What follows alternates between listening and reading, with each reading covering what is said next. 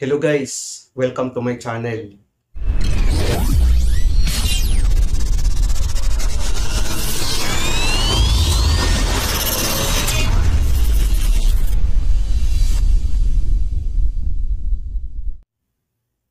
Ang isi-share ko sa inyo ngayon, yung tatlong motor na gamit ang single float switch. Ang function nito guys ay alternate function pa rin. Bali pag off ng isa, gagana naman ng isa. Pag off naman ng isa, gagana naman ng isa. Ganun ang function ng diagram na ito guys. Pwede rin natin to gamitan ng pressure switch. Ipapakita ko sa inyo mamaya, i-demonstrate ko kung paano natin gagamitin. Alam ko na maraming nag-aabang sa video na ito. Gaya ng sinasabi ko, ang advokasya ko ay makatulong sa mga baguhan. Kaya gusto kong ibahagi ang diagram na ito. Maraming tutol na i-expose ko ang diagram na ito. Pero dahil na rin sa aking advokasya na makatulong, kaya nga itutuloy ko to alang-alang sa mga baguhan. Kaya guys, panoorin nyo ang video na ito hanggang sa dulo. Tulong nyo na rin sa akin. Ngayon guys, umpisahan na natin ang diagramming.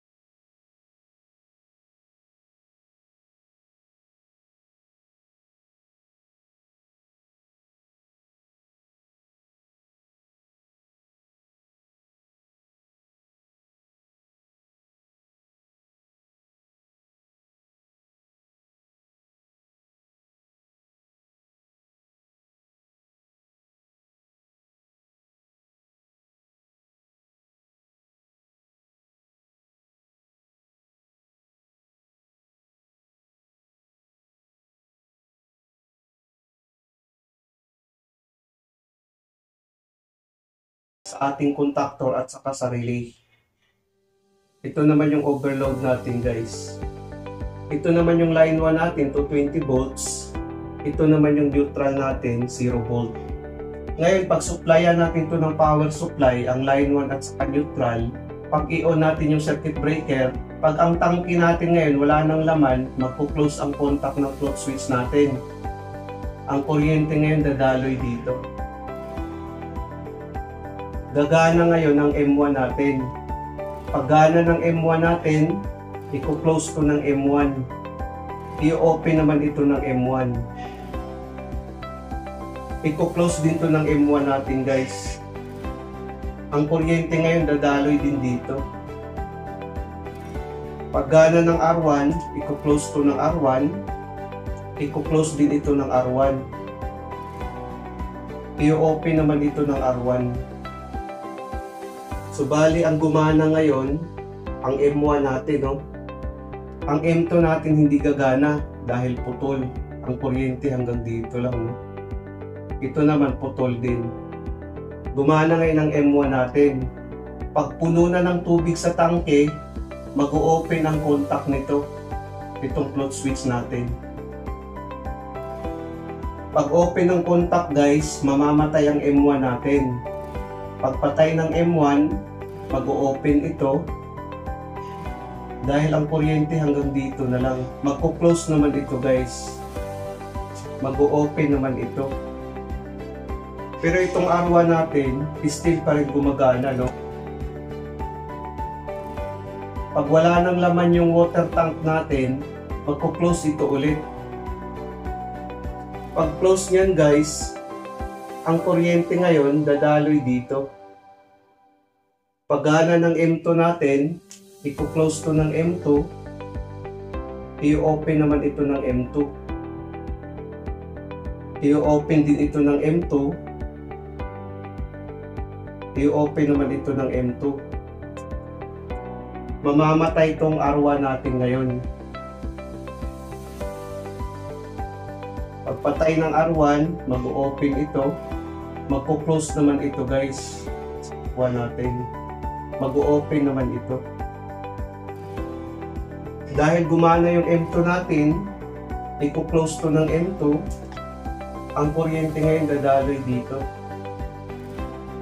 Gumana din ang R2 natin. Pagana ng R2 natin, i-close to ng R2. I-close din ito ng R2. I-open naman ito ng R2 natin guys, no? Dahil gumana yung R2 natin.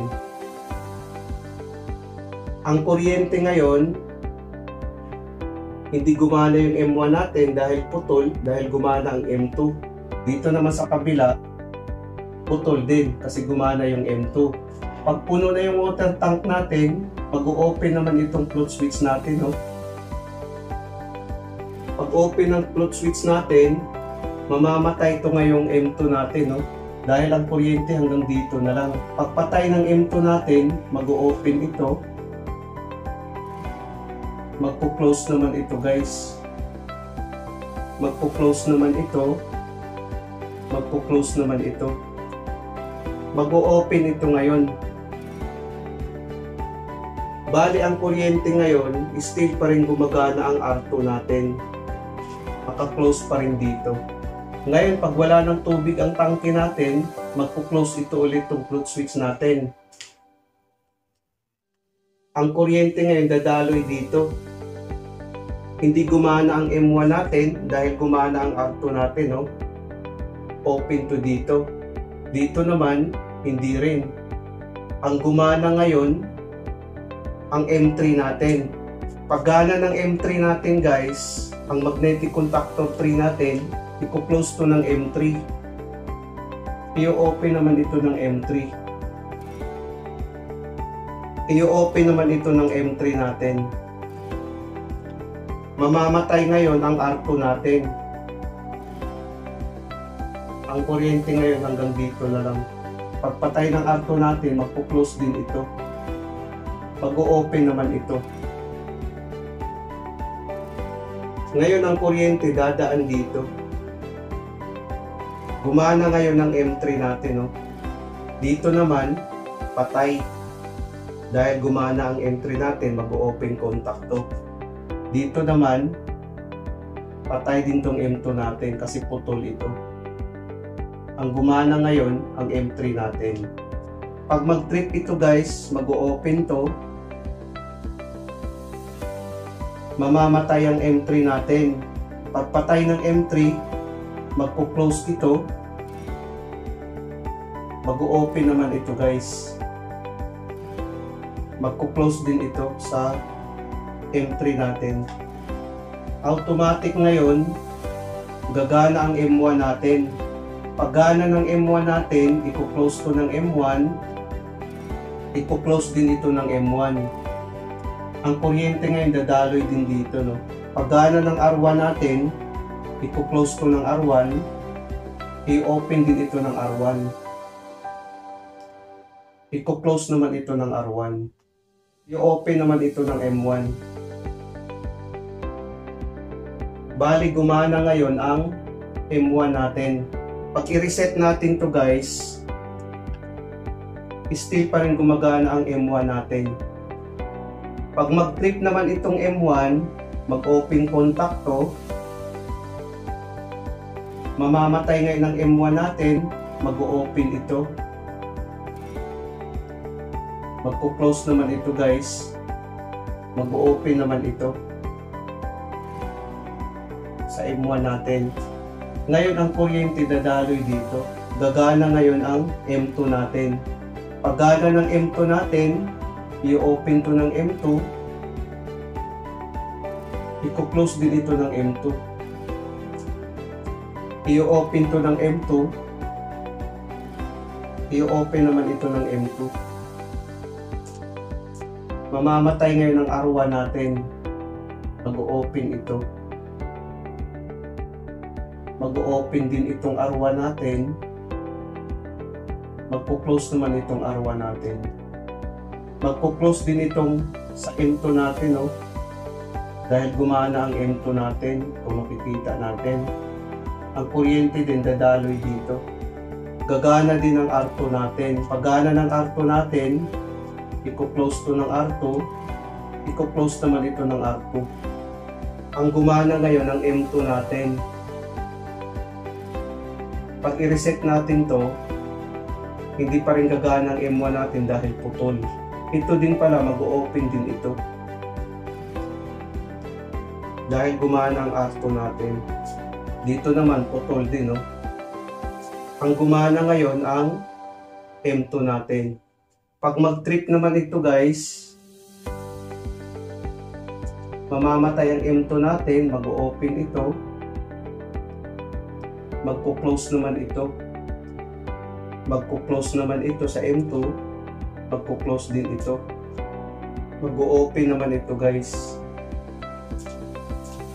Ang kuryente dadaloy dito. Automatic gagana ang M3 natin.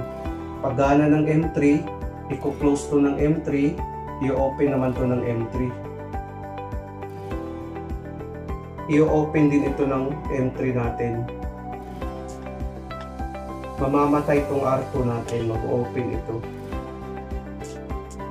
ito din magpo-close din ito guys bali ang kuryente ngayon hindi gagana ang M1 ito naman nag-trip hindi rin gagana ang M2 mag-open din pala ito guys dahil na-off na yung R2 natin Bali, ang kuryente ngayon, hindi gagana ang M1. Ang M2 rin, hindi rin gumana. Ang M3 ngayon ang gumana. Pag i-reset natin to, still pa rin gumagana ang M3 natin. Ganun lang siya guys. Pag trip ng M3 natin, gagana ang M1. Pag trip ng N1, gagana ang M2. Pag trip ng M2, gagana ang M3. Ngayon, pag i-off naman natin tong float switch natin, mag-open contact to. Pag open contact niya guys, mamamatay itong M3 natin. Pag patay ng M3, mag-open ito. Magpo-close naman ito guys. Kung gamitan naman natin to ng pressure switch guys, ganun pa rin ang diagram na dapat natin sundin. Bali yung pressure switch natin, ikabit natin sa normally close. Parang ganito.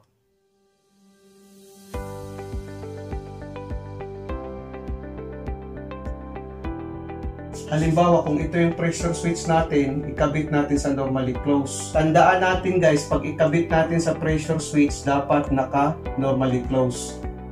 Tapos ito namang contactor na M2, ang gagamitin natin dito, dapat mayroon siyang additional na normally close.